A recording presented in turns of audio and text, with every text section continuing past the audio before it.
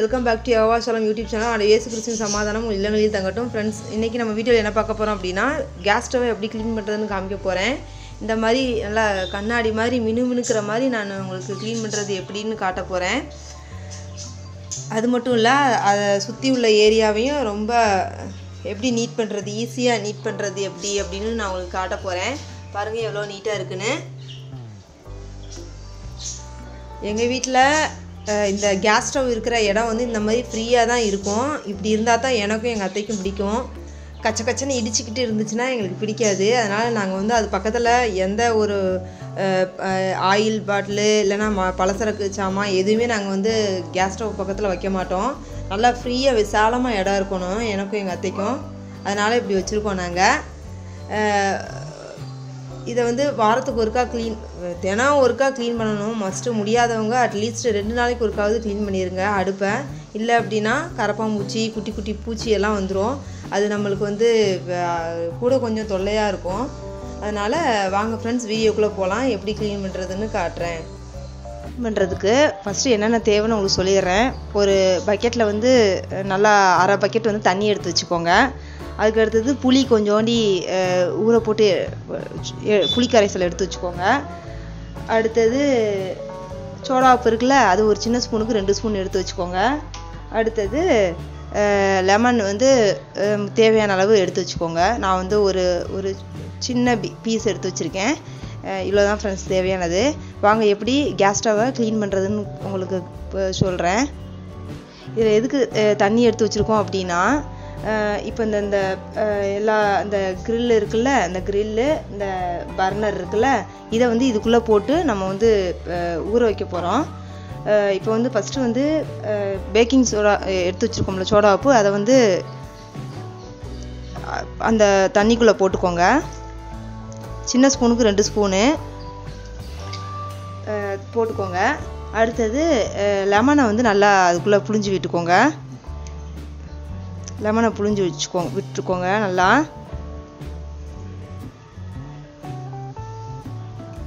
புழிஞ்சாச்சு. இதை நல்லா மிக்ஸ் பண்ணி விட்டுக்கோங்க. விட்டு இப்போ வந்து இந்த கிரில்ஸ் இருக்கல எல்லா கிரில்லை மட்டும் எடுத்து இதுக்குள்ளே போட்டு வச்சுக்கோங்க.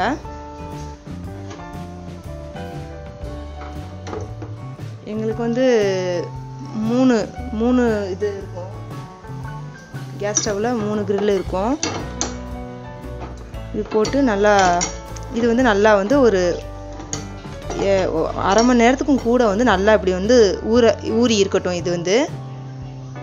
நல்லா ஊறி இருக்கட்டும். நம்ம அதுக்குள்ளே பர்னருக்கு என்னன்னு சொல்லி பார்க்குறேன் சொல்கிறேன் நம்ம வந்து புளிக்கரைசல் எடுத்து வச்சுருந்தோம்ல இதுக்குள்ளே இந்த புளிஞ்ச எலுமிச்சம்பழத்தையும் நம்ம வேஸ்டாக்க வேண்டாம். இதை வச்சு இதை தேய்க்கிறதுக்கு வச்சுக்கலாம். இதை வந்து இதுக்குள்ளே போட்டு வச்சுக்கோங்க. இந்த பர்னர் இருக்குல்ல அதை எடுத்து இதில் நல்லா அப்படி டிப் பண்ணி வச்சுக்கோங்க.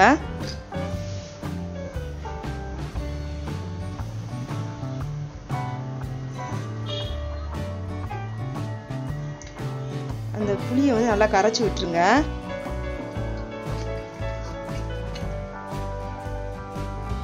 இது நல்லா வந்து ஒரு நாள் நைட்டு ஃபுல்லாக ஊறுனா ரொம்ப நல்லது. இது எப்படியும் ஒரு நாள் நைட்டு ஃபுல்லாக ஊறுச்சுன்னா ரொம்ப பளிச்சுன்னு ஆயிரும் இந்த பர்னரு. இது வந்து அப்படியே ஊற வச்சிடுவோம் ஒரு நாள் நைட்டு ஃபுல்லாக நான் இப்போ வந்து எனக்கு டைம் இல்லாதனால ஒரு நாள் நைட்டு ஊற வைக்கலை. நான் வந்து ஒரு மணி நேரம் ஊற வைக்க போகிறேன் ஒரு மணி நேரம் இது ஊறட்டும். ரெண்டையும் ஊற வச்சுருவோம். இப்போ அதுக்குள்ளே வந்து அந்த டாப்பு கேஸ் டாப் இருக்கும்ல அதை வந்து க்ளீன் பண்ணிட்டு வந்துடுவோம்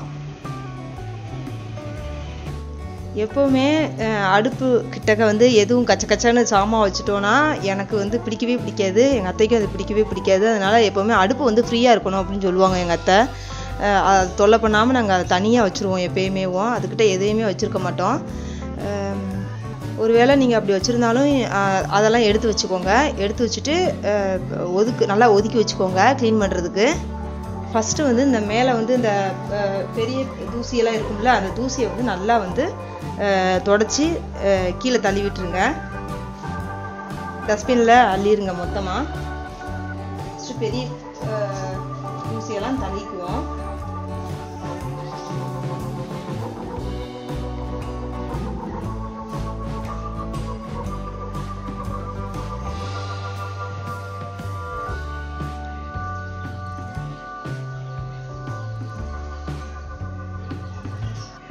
நான் வந்துருச்சு பாருங்கள் இருக்கிற பெரிய தூசியெல்லாம் எடுத்துருங்க.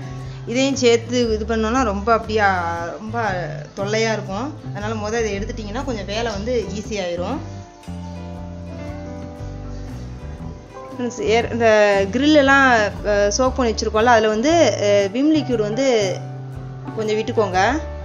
நான் அதை சொல்ல மறந்துட்டேன். இது நல்லா அப்படியே ஊறட்டும். இப்போ அடுத்து என்ன பண்ண போகிறேன் அப்படின்னா லேசாக தண்ணியை வந்து தொ தொளிச்சு விட்டுக்கோங்க அந்த கேஸ் ஸ்டாப்பில் லேசாக தொளிச்சு விட்டுக்கோங்க.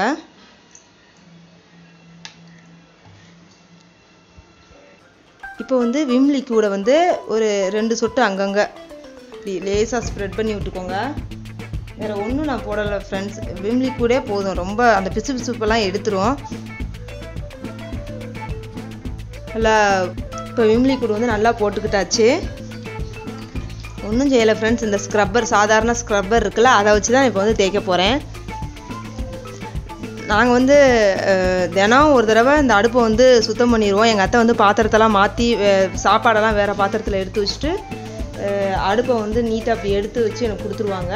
நான் வந்து இதை துடைக்கணும். இதான் எங்கள் வேலை. நான் ஒன்றும் செய்யலை. அந்த இதெல்லாம் வந்து அதுவாக போயிடும் இந்த ஒட்டி இருக்கிற மாவு இதெல்லாம் வந்து அதுவாக போயிடும் ஒன்றுமே வேறு எந்த இதுவுமே போடலை. தினம் நாங்கள் க்ளீன் பண்ணிடுறதுனால அது எங்களுக்கு ஈஸியாக இருக்கும்.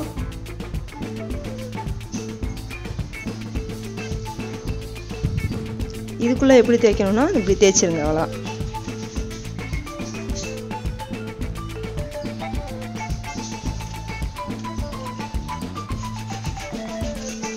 தினம் இப்படி ஒரு தடவை க்ளீன் பண்ணிட்டீங்க அப்படின்னா அடுப்பு பக்கம் வர்றதுக்கே சந்தோஷமாக இருக்கும். பிசு பிசுன்னு இருந்துச்சுன்னா இது வந்து மினி இண்டஸ்ட்ரின்னு சொல்லுவாங்க கிச்சனை பிசு பிசுன்னு இருந்துச்சுன்னு வச்சுக்கோங்களேன் நமக்கே கோவமாக வரும். வேலையே செய்யவே பிடிக்காது. பிசு பிசு இங்கே வந்து இப்போ இப்போ தண்ணி அதிகமாக யூஸ் பண்ணுவோம் கிச்சனில் நம்ம. அதனால் அடிக்கடி அந்த டவல் ஒன்று பக்கத்தில் அதுக்குள்ளே வச்சுக்குவாங்க. அதை சுத்தம் பண்ணிகிட்டே இருப்பாங்க. நான் லேசாக தான் கூழ் போட்டேன். எவ்வளோ நுரம் இருக்கு பாருங்கள் பிசு பிசுப்பு அவ்வளோவா இருக்காது எங்கள் அடுப்பில். உங்களுக்கு பிசு பிசுப்பாக இருந்துச்சு அப்படின்னா நீங்கள் இன்னும் கொஞ்சம் விம்லி கூழ் போட்டுக்கோங்க. இப்போ எல்லா பக்கமும் தேய்ச்சாச்சு நல்லா. இப்போ இந்த சைட்லலாம் தேய்க்கணும். சைடில் நல்லா தேய்ச்சிக்குவோம்.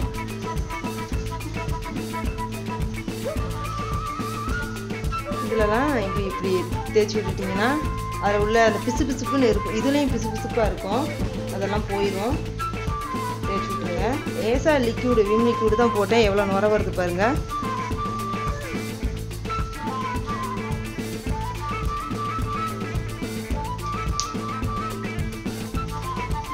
அப்புறம் இந்த சைடில் தேய்ச்சிடுவோம் எல்லா சைட்லேயும் தேய்ச்சிக்கோங்க.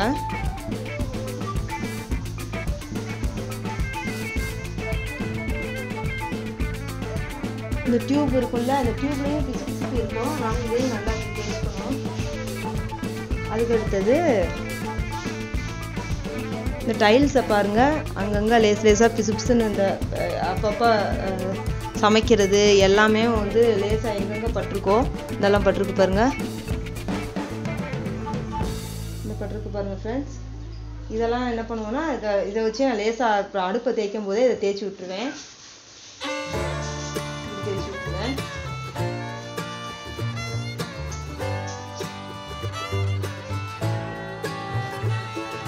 பிசு பிசுப்பெல்லாம் இந்த இப்படி தேய்ச்சி விட்டுறலாம்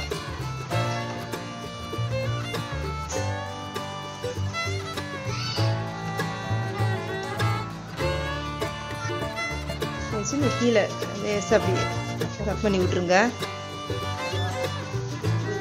ஈஸியாக முடியும் கீழேயுமே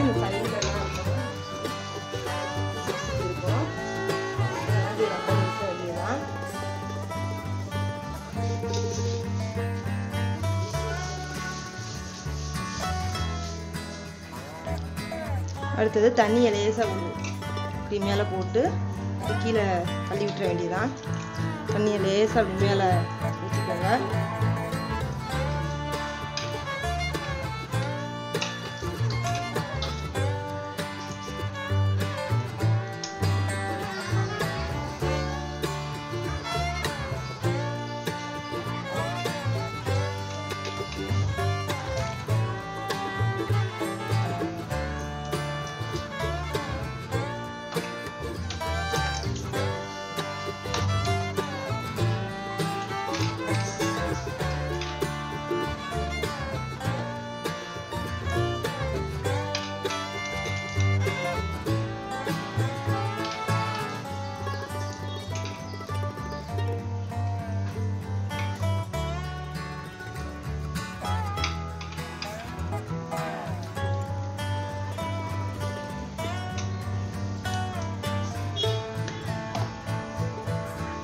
டைல்ஸில் வந்து இது பண்ணோம்ல அதை வந்து லேசாக தண்ணியை வச்சு இப்போ தொடச்சி விட்ருங்க தண்ணி கீழே வடிஞ்சு வந்துடும் நம்ம வந்து அதை மொத்தமாக வந்து அப்படி தள்ளி விட்டுடலாம்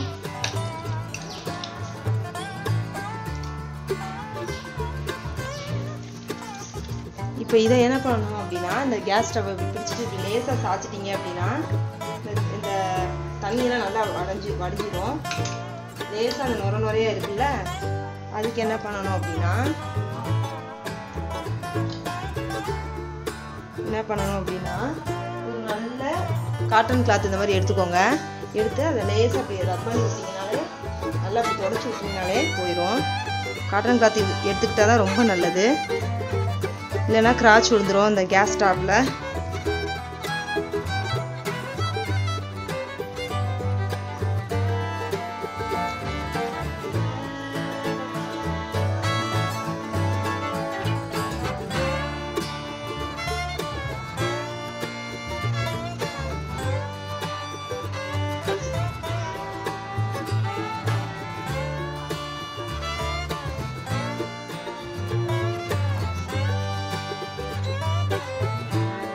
அடியிலலாம் தண்ணியாக இருக்குல்ல?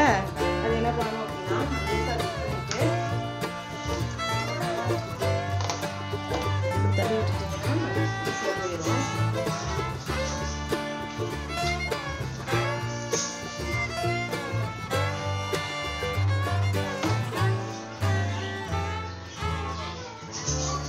எங்களுக்கு சிங்க் பக்கத்தில் இருக்கிறதுனால அங்கே அடுப்புல இருந்து அப்படியே தள்ளி கொண்டு வந்து நான் இப்படி உள்ளே தள்ளி விட்டுருவேன். ட்ரைனேஜ்க்கு போயிடும் அது. அவ்வளோதான் வேலை முடிஞ்சிருச்சு ஃப்ரெண்ட்ஸ்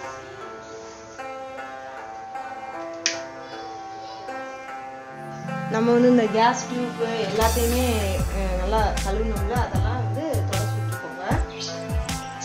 கீழே நல்லா ஈரமாக இருக்கிற இடத்த இந்த காட்டன் அவ்வளோதான் வேலை ரொம்ப அஞ்சு நிமிஷம் வேலை தான் நம்ம இதுக்கு வந்து அஹ், க்ளீன் பண்ணணும்னு நம்ம நினச்சோன்னா அடுப்பு வந்து பாலாக போயிடும் அது இதில் மட்டும் கொஞ்சம் சோம்பல் பாத்திரக்கூடாது நம்ம.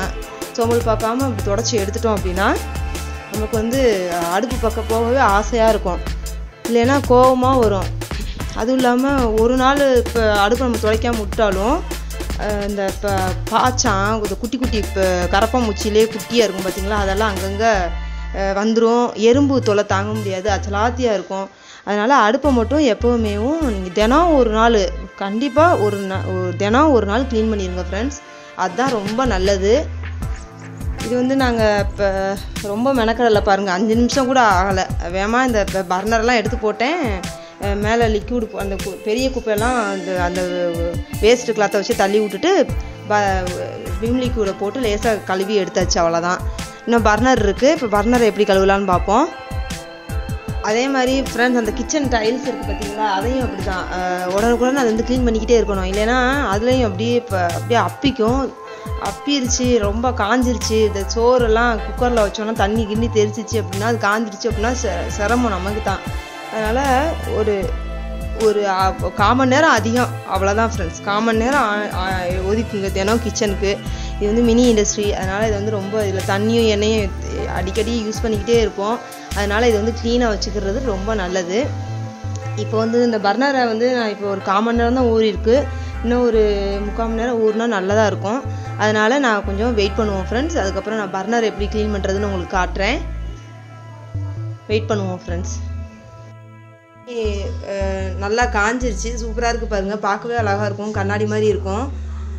இந்த மாதிரி தினம் சுத்தம் பண்ணிட்டீங்கன்னா உங்களுக்கு ஈஸியாக இருக்கும் ஃப்ரெண்ட்ஸ் இப்போ வந்து இந்த பர்னரை வந்து நான் வந்து இப்போ சோக் பண்ணி வச்சுருந்தேன்ல அதை எப்படி வாஷ் பண்ணுறதுன்னு பார்ப்போம். ஒரு மணி நேரம் இப்போ வந்து நல்லா சோக் பண்ணி வச்சுருந்தாச்சு. இப்போ வந்து அதை தேய்ச்சி தே தேய்ச்சி நல்லா கழுவ வேண்டியது தான் நம்ம புளி வச்சுருந்தாலும் இந்த புளியை வச்சு அப்படி தேய்ச்சி கழுவிட வேண்டியது தான்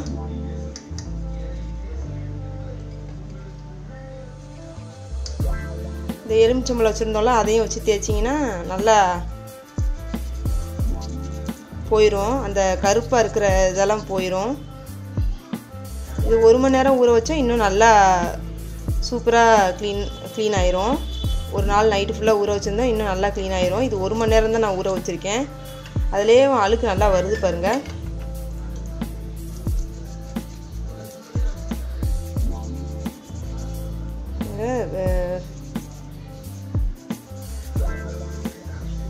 ரொம்ப ஈஸி இது செய்கிறதுக்கு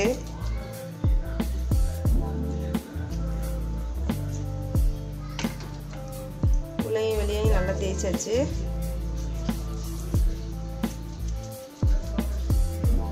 புளியை வச்சு கூட நல்லா தேய்ச்சிடலாம்.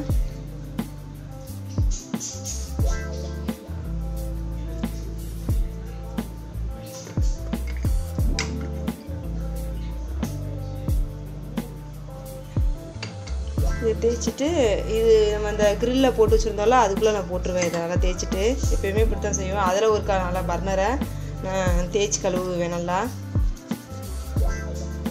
பர்னரை வந்து நான் அவ்வளோ ஈஸியாக எடுத்துட மாட்டேன். ஒரு மாதத்துக்கு ஒருக்கா தான் எடுப்பேன். ஓயாமல் எடுத்தால் எனக்கு பயமாக இருக்குமா? அதனால் நான் அதை ஓயாமல் கழுவ மாட்டேன். இப்போ எடுத்து ஒரு மாதத்துக்கும் கூட ஆயிடுச்சு. அதான் இப்படி எனக்கு ரொம்ப அது கருப்பாயிருது.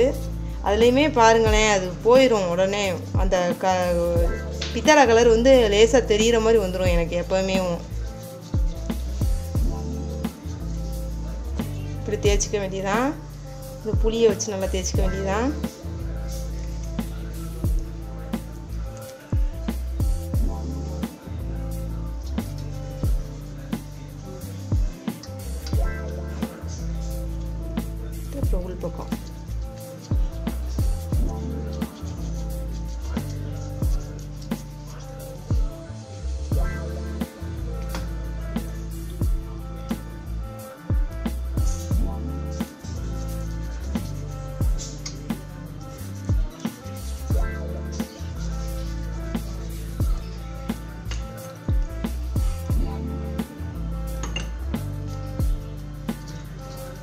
எவ்வளோ கருப்பாயிடுச்சு பாருங்க அந்த தண்ணி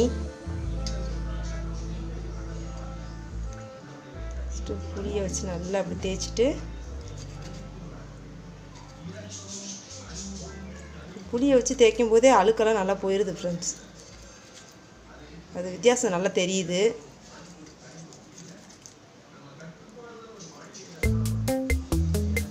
எங்கள் அத்தையோட ஐடியா எங்கள் அத்தை வந்து இந்த பித்தளை பாத்திரத்துக்கு புளி வச்சு தேய்ப்பாங்க.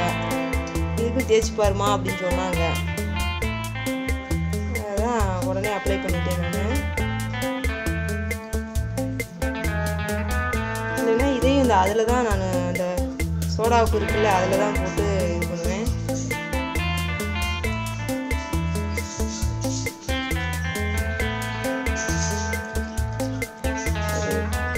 முன்னாடி ஒரு தடவை யூஸ் பண்ணியிருக்கேன் அதுக்கப்புறம் இப்போ தான் யூஸ் பண்ணுறேன் இந்த இந்த மெத்தடில் எங்கள் வந்து செய்ய அப்புறம் தான் நான் செய்கிறேன்.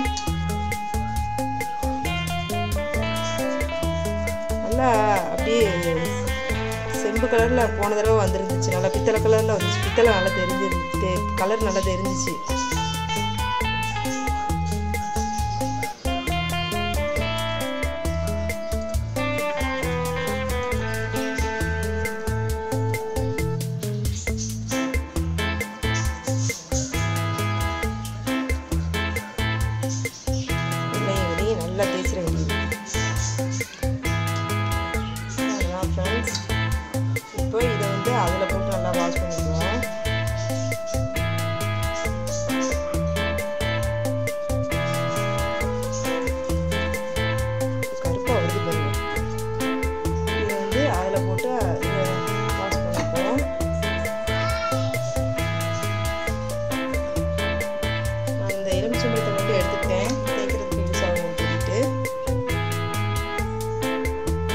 நான் ரெண்டு ஸ்க்ரப்பரும் யூஸ் பண்ணிக்குவேன். நல்லா எவ்வளோக்கு எவ்வளோ தேய்க்க முடியுமோ உள்ளே வச்சு நான் தேய்ச்சிடுவேன் நம்ம ஏற்கனவே இம்லி கூடலாம் போட்டிருந்தோம் சோடா போட்டிருந்தோம். அதனால் இப்படி தேய்ச்சாலே போதும். இது வந்து அங்கே சிங்கிளில் வச்சு கழுவுறதுனா எனக்கு கஷ்டமாக இருக்கும். அதனால் நான் வந்து இதை எப்பயுமே இப்படி தான் வச்சு கழுவுவேன்.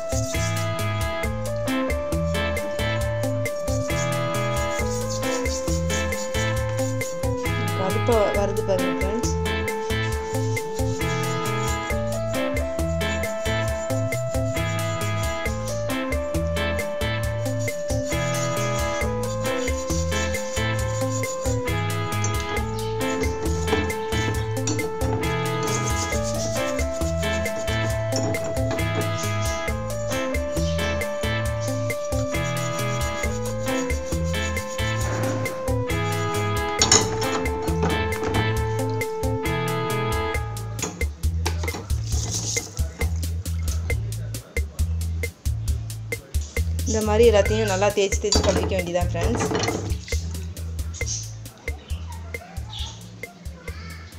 இந்த மாதிரி நல்லா அதை தேய்ச்சி கழுவிட்டு இந்த மாதிரி ஒரு காட்டன் கிளாத்தை விரித்து அதை வச்சுருங்க ஃப்ரெண்ட்ஸ் அதையே எடுத்து நல்லா தொடச்சி கொஞ்சம் கா காஞ்சோடனே நல்லா தொடச்சிடலாம். இப்பயே கொஞ்சம் தொடச்சி வச்சிட்டோன்னா வேமா காயும்ல அதுக்கு தான் துடைக்கிறேன்.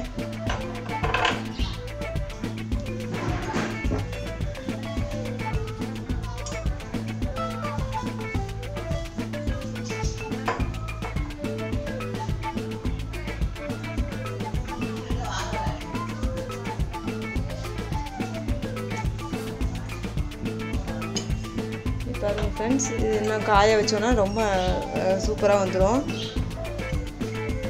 அவங்க காமிக்கிறதுக்காக வேகமாக காமிக்கணுங்கிறதுக்காக நான் இப்போ முதல்ல தொடச்சிட்டேன் ஃபஸ்ட்டு அதில் ப்ளேஸ் பண்ணிடுவோம்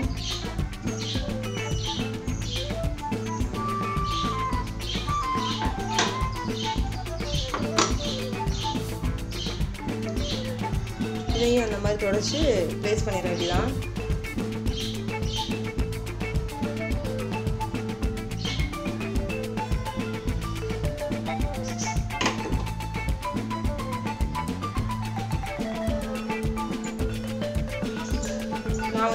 நேரம் தான் எனக்கு டைம் இல்லை. இப்போ ஒரு மணி நேரம் தான் ஊற வச்சேன். வேமா எனக்கு கிச்சனில் வேலை இருக்கிறதுனால நான் வந்து வேமா எடுத்துட்டேன். நைட்டு நீங்கள் செஞ்சு ஊற வச்சுட்டு படுத்துட்டுன்னு வச்சுக்கோங்களேன். நல்லா இன்னும் இன்னும் நல்லா அழுக்கெல்லாம் போயிடும் நல்லா இன்னும் கலர் கூடிரும்.